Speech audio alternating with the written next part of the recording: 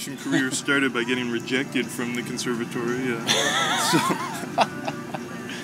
Twi- in a way, twice, it's I believe, right? Uh, no, it was well. It was after after undergrad. Uh, I applied to the conservatory for, for comp and you know sent in the scores and, Oh, and, okay. and was rejected. Just sort of when doing it the traditional way. And then I started. You know, I, I read uh, some of Cogan's books and just cold called them.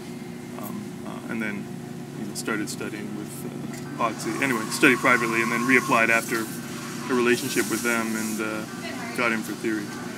But so, but I think that's you know that, that's actually very important in terms of I, in a way I infiltrated the conservatory, but wasn't really accepted there. Uh, and you know that's around that around the time we met, I guess. Yeah, yeah, 96, 97, yeah. So we were both in similar places where even though we were in the institution, we weren't there maybe what we originally thought we would be. Um, so,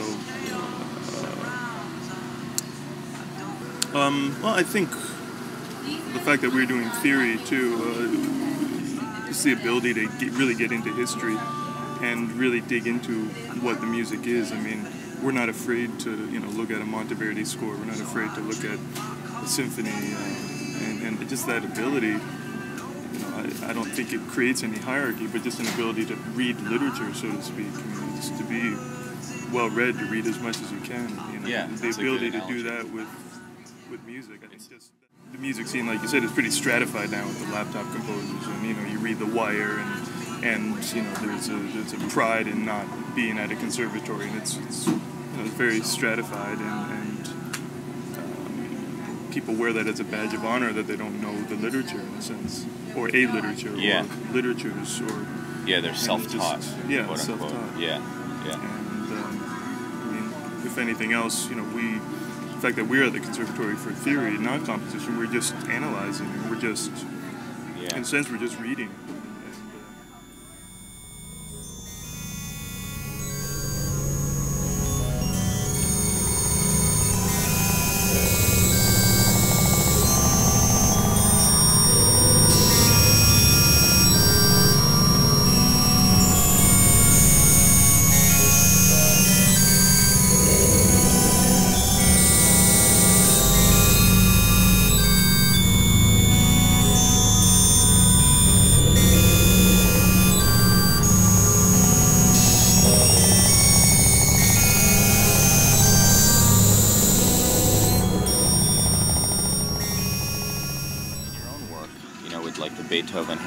Hammer Clavier that we did together Mhm. and your new CD coming out, Course of the Symptom, it seems like you're approaching, um, you're, you're, you're, you're, you're allowing the past, you know, to infiltrate your work in, in Mhm. as sort of a meta, in a meta way.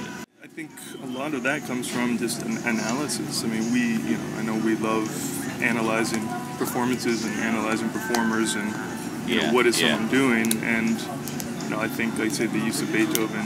Well, you know, with, with Beethoven, in a way, I mean, a strange way, that's our performance interpretation.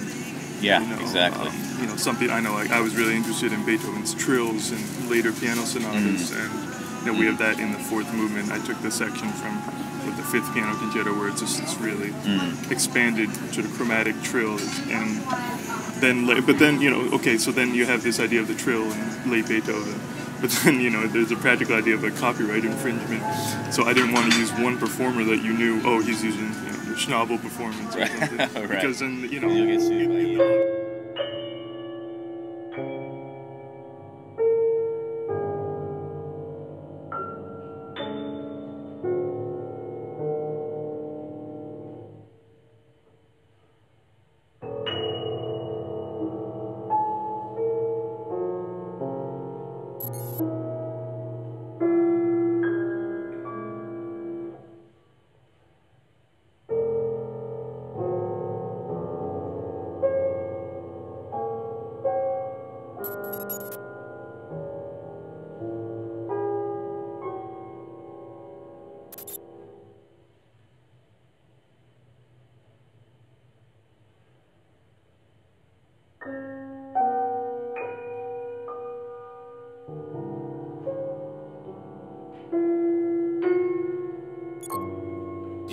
Course of the Symptom, it seems like they're they're the you know they're the two obvious elements that are coming into play. You have the one really really distorted, noisy um, kind of synthesizer-like sound, Mhm. and you have this very old, de- you know, debris-like uh, Mhm. piano, sort of atonal piano sounds, and, and maybe you could talk a little bit about that. Yeah.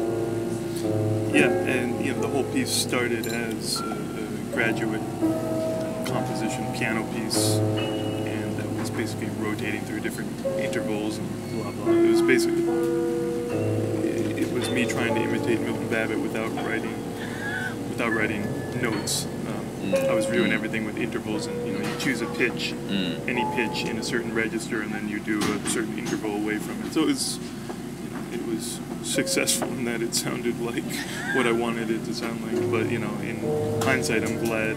I'm glad I don't still write like that. But Glad you failed in your glad attempt I to sound like failed in my Babbitt. attempts. Um, so that was the, I mean, in a way, the lar- one of the large-scale generators for the piece. Um, and then I was trying to make a, a sort of computerized version of that after a couple years after I'd been in Japan a couple years and Mm. uh, failed in my attempts Tom to get Powell for electronic the cash music. register areas, please. Tom Powell for the cash register. Tom Powell will now enter into the interview. Uh, um, yeah, I was in Japan trying to get started with electronic music and saved up on a computer and got a sound card donated from a friend that just didn't work at all. Um, so it was a very, very, very, very frustrating time. Uh, and actually it served as one of the impetuses, the impetus to come back uh, to America because you know, I, I sort of got the bug that I wanted to do some, some music uh, and couldn't. And you know, also I, removal from the conservatory, you know, living abroad and not being in the music scene gave me, I think, a lot of perspective outside of the conservatory. So Mm. it was a good incubation period, but Mm. um, Mm. incredible amounts of frustration. Then came back, was able to get a basic setup uh, going, and my initial idea was, okay, well, I got these piano variations. I'll make a electronic synthesizer version of them. Probably still too influenced by Babbitt at the time. Like, well, I'll do make it sound like his electronic work. So I'll take my my attempt at his piano writing and turn it into his attempt at his electronic writing. And um, thank God it, it sounded, or I had the ear to know it sounded like a, a carnival from, I don't know, gone incredibly backwards or something. So that wasn't happening, and uh, I think I, I ended up choosing just one synthesizer sound, a software synthesizer that Yeah. sounded yeah. okay, and then I just distorted the, the, the hell out of it. And I really, really, I was surprised that you know a synth could sound that dirty. Mm. Uh, you know, it didn't sound like a synth anymore, and um, uh, from that, especially the different pitches. If it was a low register pitch, it got really nice guttural distortion. The higher register ones. Um, um, I don't know. The timbre seemed to really change a lot through the different registers, and I used EQ to just sort of bring out those differences even more.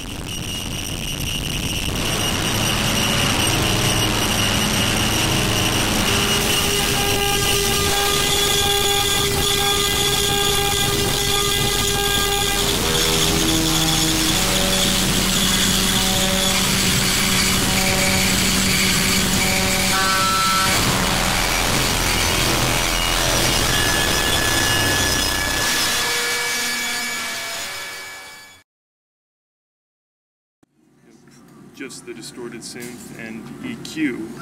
Uh, and with that available palette, I then, um, you know, I had this fairly, it's a good performance, but a bad recording of the original piano pieces that I knew. I think the, you know, the idea, course, of the symptom that you have this kind of how, literally how the course of an infection or something comes on, you know, spreads and then goes away. I sort of wanted think one of the large scale ideas was that you know the piano piece would gradually get infected by uh, you know the electronics and sort of do this sort of pivot, Okay.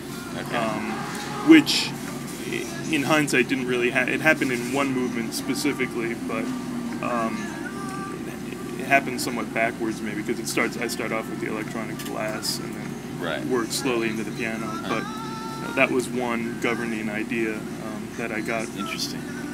And I was looking through. There's some you know medical handbook I got in Tokyo in one of my dark periods where I got all the titles from it, um, uh, and it was this idea of infection and, and uh, Huh. corrosion. Um, so that seemed to go well with the sort of literal destruction of the audio quality through distortion, EQing, Right. inserting silences, the bad recordings of the piano.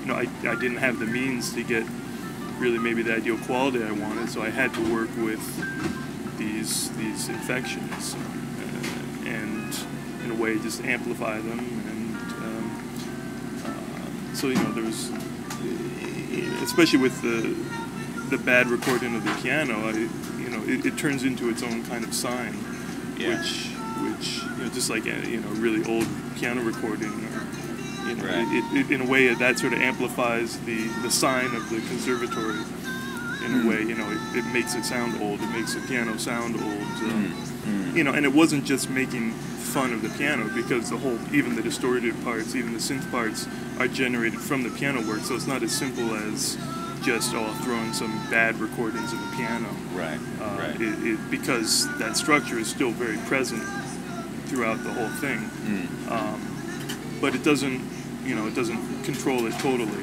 uh, while it might you know controls intervals and maybe changes in some registers and, and Mm. somewhat the construction of space then there was just my sitting with it and editing it that I think also became um, equally as important Right. and that wasn't related at all to the conservatory that was just uh, okay I get what it's about 35 minutes 38 minutes or something Mhm.